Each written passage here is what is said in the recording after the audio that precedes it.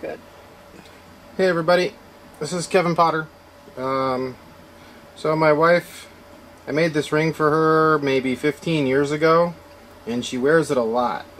And a diamond fell out, and uh, so she insisted that I fix it. So I'm going to make a video on how to put a little tiny diamond back in the channel and then retighten these and then I'll re-mill grain it if I can find my mill grain tool.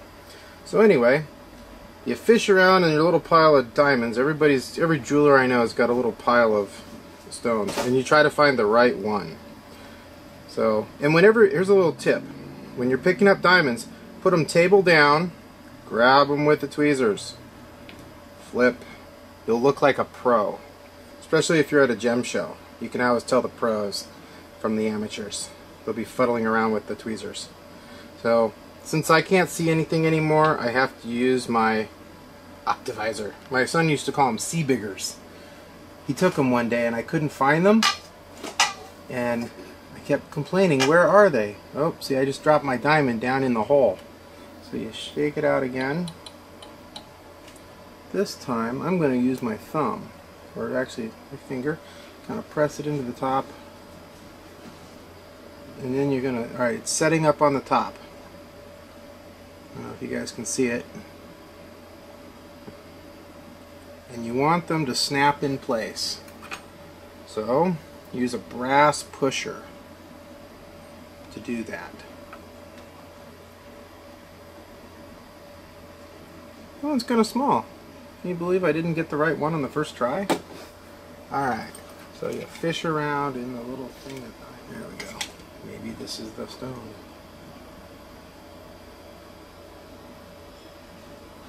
This looks really promising. Well, that's it. That is the stone.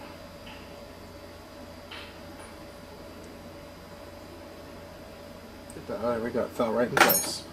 Brass pusher. With any luck, I won't crack it.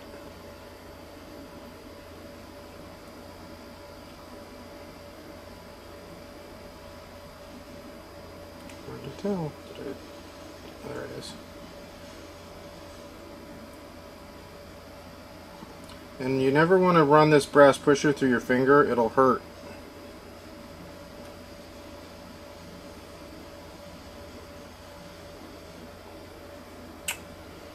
Okay.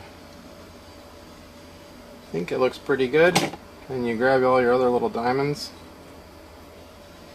put them back in the thing. I like to use a hammer hand piece.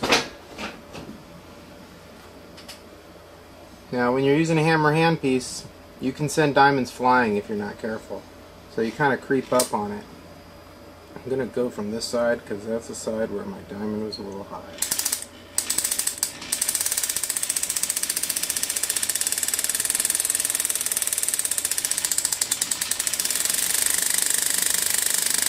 And you don't want to, uh, it, you can break your diamonds pretty good with this thing, so you gotta be careful.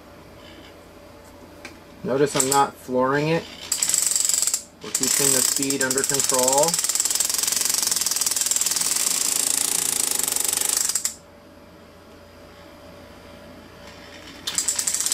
I'll probably, this, I haven't touched this ring in at least 15 years. So I probably will go over this whole thing to make sure everything's tight again.